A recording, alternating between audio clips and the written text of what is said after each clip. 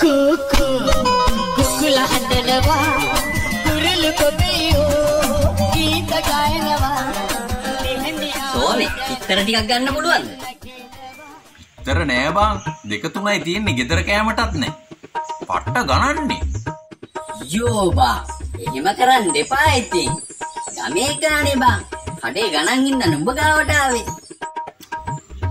හරි හරි බං දෙන්න ගෙඩි පහක් තියෙනවා හැබැයි හැට පහයි අඩේ හැත්තෑවයිනේ. ඩං ඔම ගේන්න. හරි බං එහෙම කරන්න එපා ඉතින්. 45 ගානේ දීපන්.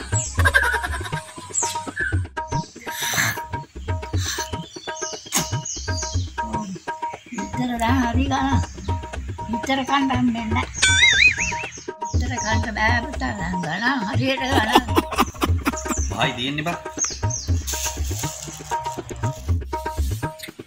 එහෙනම් කොල්ලෝ අපි ගියා. සල්ලි පස්සේ යන්න.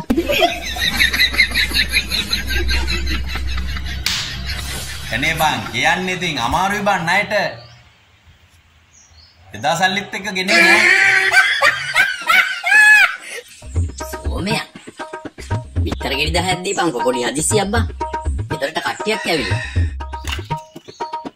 ණයට නම් කෙලින්න බෑ පුතු ඒ වුණොත් මේ රස්සාව මට කරන්න වෙන්නේ නෑනේ හරි හරි බං. දෙන්නම් දෙන්නම් ආයේ. මො පැනලා යන්නේ නෑනේ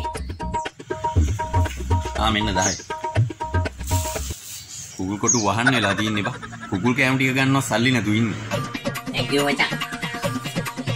ඊළඟ දවසේ සම්පූර්ණ ක්ලියර් කරනවා. එහෙනම් කොල්ලෝ අපි ගියා.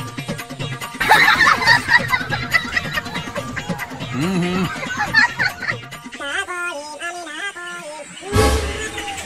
සොම්මයා 200ක් බා.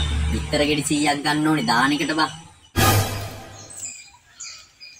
100ක් නේ? හරි පොඩ්ඩක් හිටපන්. දෙපන්. හරි බං යාළුවනේ. ආමජන් පරිස්සමට ආරම්භ බලන්න. සල්ලි එපා දාන්නනේ. thank you මචං. හවස් වෙද්දී මං සල්ලි ගෙනත් දෙන්නම්. වෙනකොල්ලෝ අපි ගියා. එහෙලියාව දැන් කිමිල් නැකිනවා. දෙගිරියාව කින් අපි විනසලා බලනවා. පතරවල විස්තරවල හැසරගල පතරවල අපි කියවනවා. විතරවල හතරවල දුක්කර බැසරගල